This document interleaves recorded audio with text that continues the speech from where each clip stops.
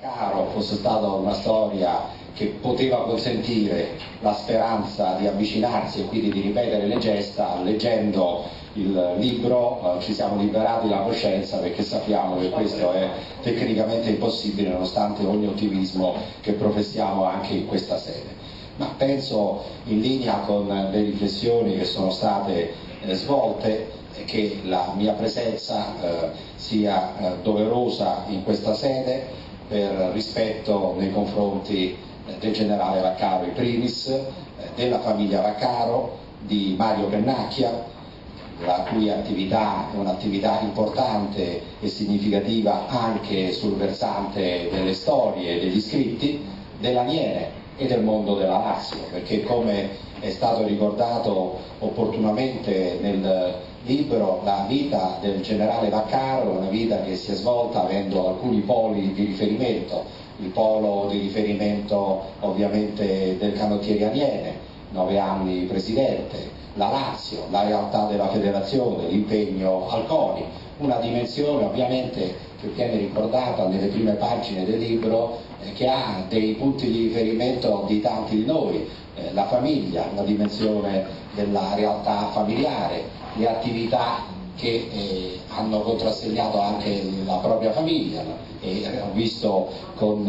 eh, diciamo così, con un pizzico eh, di eh, eh, attenzione ulteriore il fatto che la famiglia Vaccaro aveva un'attività tipografica e quindi come tale nelle prime pagine del volume si ricordano anche le difficoltà collegate agli impegni familiari, collegati alla presenza dell'impegno tipografico nella sua famiglia. E poi una realtà che è una realtà eh, che eh, trascorre eh, con grande attenzione con grande logica di separatezza nel collegamento tra quella che è la dimensione del mondo dello sport in quegli anni e la dimensione dello scenario ovviamente politico, i vari passaggi politici che ci sono stati, passaggi che fanno parte della storia del nostro paese. Quindi c'è una dimensione che vede qui tanti amici, persone che hanno conosciuto il generale Vaccaro, persone che come me non l'hanno conosciuto, che comunque hanno un comune denominatore che è quello di avere diciamo, affetto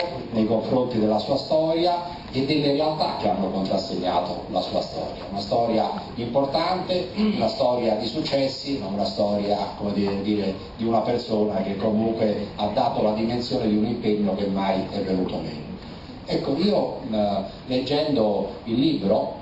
che ho letto appunto per rispetto nei confronti del presidente Vaccaro, della sua famiglia e di Mario Bernacchia, sapendo che comunque mi avrebbe comunque potuto fare oggi o nei prossimi giorni delle domande, quindi avrebbe con facilità individuato se poi il libro l'avessi letto o meno. Eh, ho eh, collegato questo libro e questa vicenda a una dimensione di un recupero importante che in questo periodo sta avvenendo di tutta una memoria storica del nostro calcio. Il 12 settembre ero a Vercelli per il festeggiamento del primo centenario del primo scudetto della Pro Vercelli e ho avuto il piacere di avere dai dirigenti della Provercelli un premio che loro hanno attivato intitolato a un ex presidente della Provercelli che è stato presidente della federazione, Luigi Bozzino. Sabato era a Novara per i 100 anni del Novara e in, la settimana scorsa si è inaugurata qui a Roma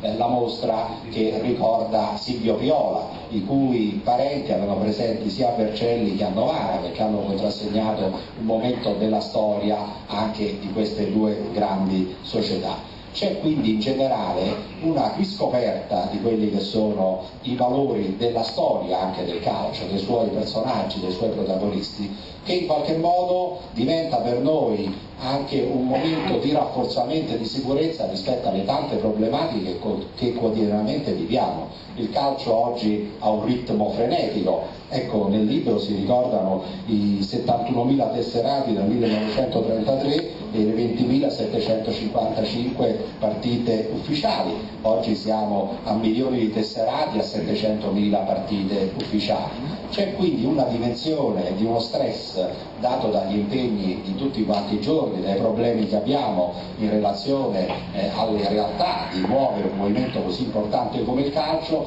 che ci portano nella necessità di avere dei punti di riferimento e avere anche la consapevolezza che la storia del calcio, come ricordava Rocco Crimi, passa attraverso dei problemi che poi periodicamente si rinnovano. E quindi parlare dei bilanci, della moralizzazione, parlare naturalmente della doppia B, ho visto un passaggio in cui si parlava dell'ipotesi della doppia B, parlare della, degli stipendi, del freno agli stipendi, della logica di mantenere una dimensione equilibrata fra gli stipendi delle grandi società e gli stipendi dell'epoca, parlare del volontariato nella dirigenza eh, sportiva, perché anche questo si evidenziava nel momento in cui si notavano, una volta portandole come riferimento diretto del eh, Presidente Vaccaro, altre volte nella logica di collegarsi anche a quelle che erano le realtà storiche dell'epoca, gli stipendi rapportati alle varie funzioni esercitate. Quindi la storia è importante e la storia, ed è il ringraziamento che io faccio al, al Presidente Malavò, è vissuta nel presente. Io spesso utilizzo quando faccio qualche intervento una frase di Sant'Agostino. Eh,